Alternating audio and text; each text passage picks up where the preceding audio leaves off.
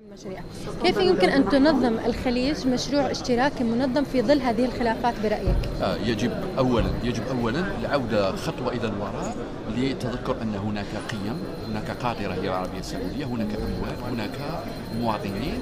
في إطار عقد اجتماعي داخلي وإقليمي يمكن تشكل أن تبدأ كرة الثلج في التوقف ثم آه، في حمل آه، بوادر النجاح.